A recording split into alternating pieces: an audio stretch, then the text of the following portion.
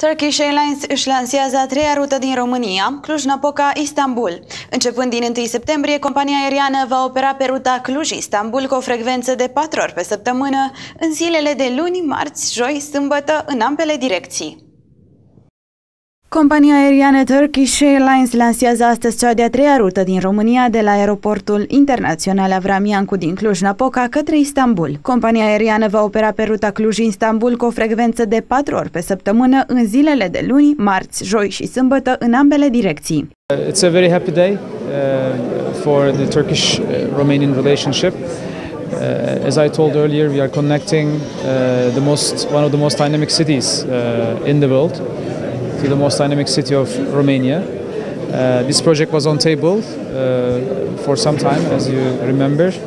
Now we are happy that we managed to do it today. Noul zbor uh, Cluj-Istanbul cu Turkish Airlines este o realizare importantă nu numai pentru că sunt patru frecvențe pe săptămână, dar pentru că Turkish oferă din Istanbul peste 290 de conexiuni, foarte multe complementare față de cele care le avem considerăm că există potențial uh, foarte mare și uh, va crește oferta și din punct de vedere a prețului, dar și din punct de vedere a destinațiilor pentru toate continentele. Liderii companiei aeriene declară că și-au dorit de multă vreme deschiderea unei noi rute în România.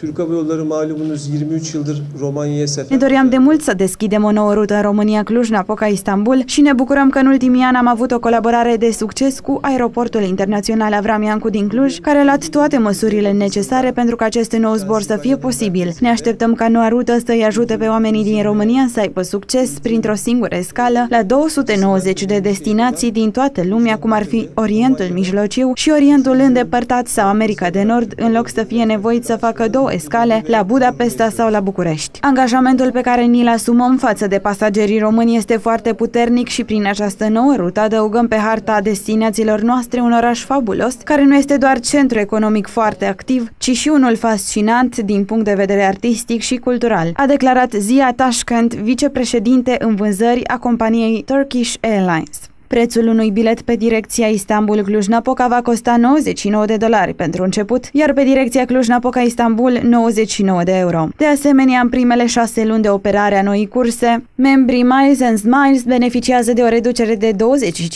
a numărului de mile necesare pentru câștigarea unor bilete de avion sau accederea la un nivel superior de fidelitate.